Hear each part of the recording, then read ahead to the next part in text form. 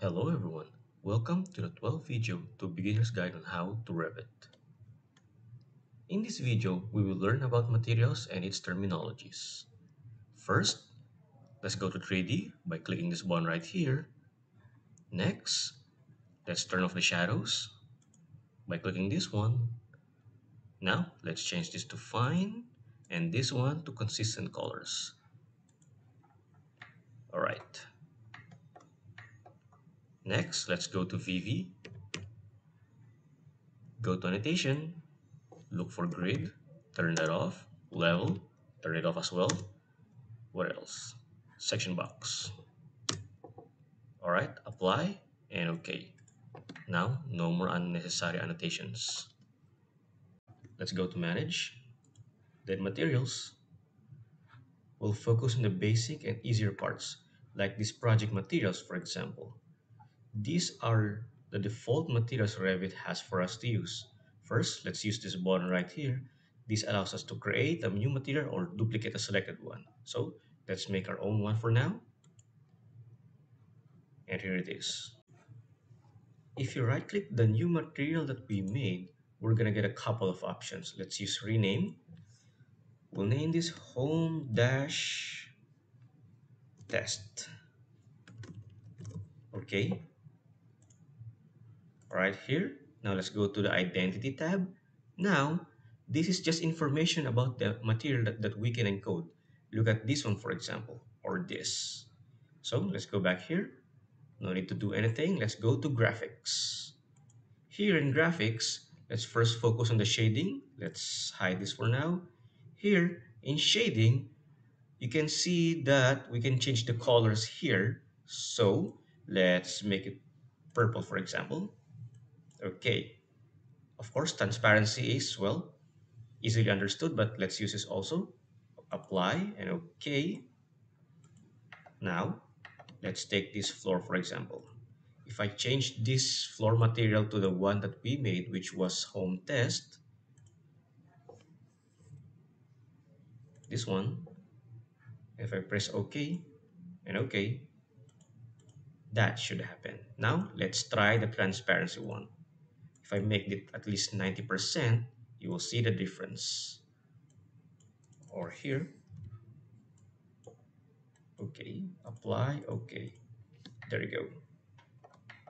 It's transparent, just as like the word it says. Okay, now let's do this again properly. And I almost forgot. That coloring only affects shading and consistent color. Let's try it one more time without the transparency. Let's move this to zero and let's make it red. Apply and okay. There. If I make this to hidden line, it's not shown as well as in wireframe or in realistic. But if I were to go to consistent color, then shaded, that's where it's affected. All right. Now, let's go back to manage again. Materials, this one. Let's do surface and cut pattern this time. Now, these two are somewhat difficult to explain in words, so instead, I will make a spear and show you.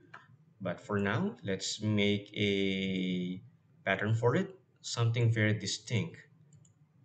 Let's use a square one for surface let's use diamonds for cut. This one. All right. Now I will make a spear so that we can see it properly. For now ignore what I'm doing and I will explain this in some future videos. I just want to make a spear for everyone to see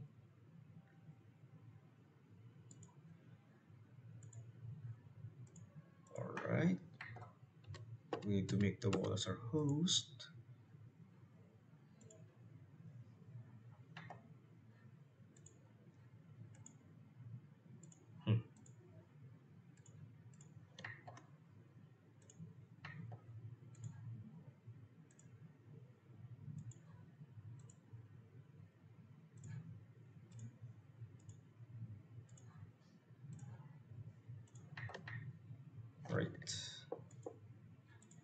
Okay, there's a spear. But wait, not yet done. All right, now it's outside. Okay, now let's add the pattern to it. Let's go back to edit Wolf. Oh, where's the material? This one. Let's use the same material before, which is this. So remember, this is the foreground squares, while as the cut are diamonds or cross hatches. So if I press OK, now we'll focus the section box on this one. You know what? Let's remove the color as well. It's very difficult to see. Let's make it gray. Okay. Now if you press BX or custom box, it will revolve the section box the section box around the certain element. Oh, sorry. Okay, again. And since we hid the section box earlier, let's go back to VV, annotation, section box. Here it is. All right. So as you see, that's the surface pattern. If I were to make a cut like so, the cut pattern shows. See that? So if I do it again like this, there's the difference between surface and cut. Looks like a Death Star. anyway, okay. So um, let's turn off the section box once more. And let's look at this in plan view. But I need to put it down a little bit here. Now, ground floor.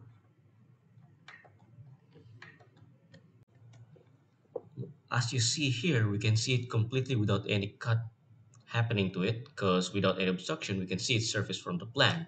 Now, let's try this in section view as well. Let's move it here a bit. Section view is here and like this. So, if I move this, what?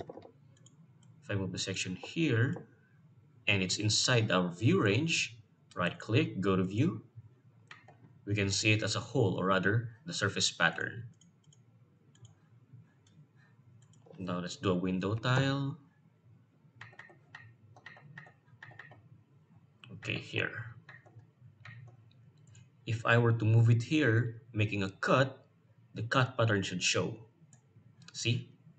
Immediately shows, right? So that's how I can properly explain the difference between surface and cut pattern. Just simply put, the surface pattern, or rather its outer pattern, is like its skin, whereas the cut is, well, what's to look like on the inside if we put something like a section view or a section box that runs across it. So next up is the foreground and the background. Let's do this in 3D view. Let's close this one. All right, so let's go back to this one. Edit. So, much like its name suggests, it's a foreground and a background. Let's put this to example. For foreground, let's let's leave it as is. Background, oops, sorry, this one. Let's use a concrete hatch. Let's give this a color, like red, for example let's hide this all right apply okay there notice how the cut pattern wasn't showing right because nothing is being cut what you see is the foreground line pattern and the background hatches Next, let's use a solid fill for the foreground and the same hatch for the background. And we'll see the difference. So again here, graphics, here's the foreground. So this remains at is. Let's use a solid fill. Drafting, solid fill. Let's use something that can obviously cover up the red color. Let's use a blue one.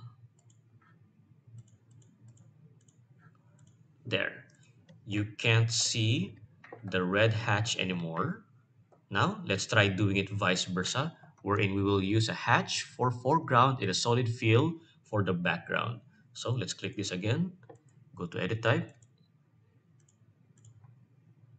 Now let's do it the opposite way. Solid fill for this one and let's make it red. Here, let's just use this one. Apply and OK. There you go. We can now see the foreground and we can also see the background. Simply as the name suggests, it's very, it's very easily understood what it means. Lastly, I need to explain the pattern type. If we go back here,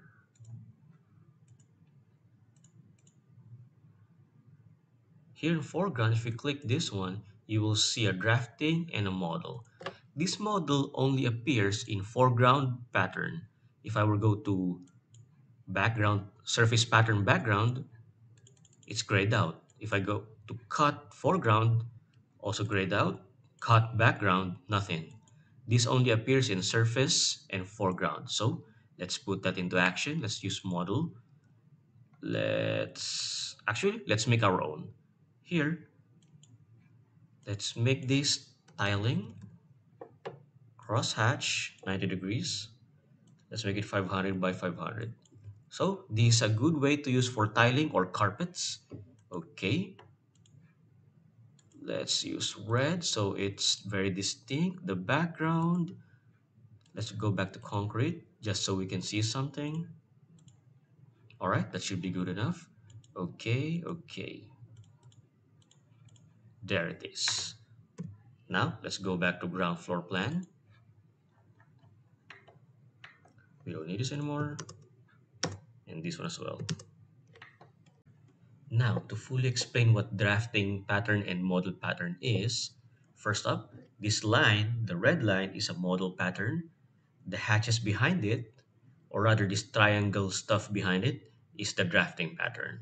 Now, the drafting pattern actually has a fixed size relative to the sheet or its scale. So if I change this, you will see the drafting pattern change as well. See that? Every time I change something, it changes. But the model pattern doesn't change no matter what I use. So that's one of its difference. Also, if you press tab continuously, the focus changes to the model pattern. We can actually move it using the move tool. If I were to do this and click it here or using move, we can actually move it to where we want it to. We can also drag it as you see. Next, we can also create dimensions using the model pattern as our reference. So let's zoom out, dimension, from wall to any pattern here and here as well. We can also rotate these model patterns. So tab, select align here. As you see, we can rotate it as well. And lastly, we can use it as our align reference. So undo. Let's say I can align it to the wall. And here as well. I can also use it as my alignment reference. So if I click this and click this brick wall right here, the brick wall is going to move to this one. There. And because we can move and align its patterns, it's a very good practice to use different, floor, different flooring per room, not like what I did here. I lazily just put one floor for everything. But there's a reason for that.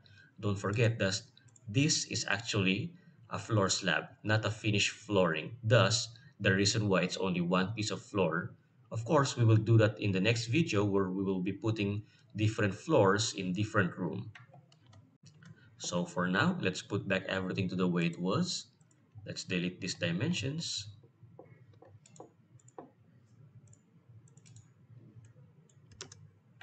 Let's put this back here.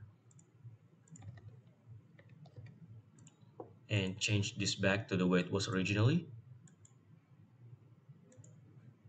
or rather let's use a generic one concrete.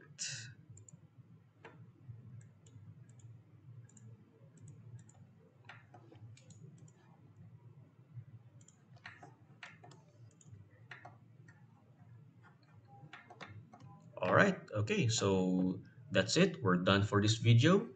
In the next one we will be doing finishes.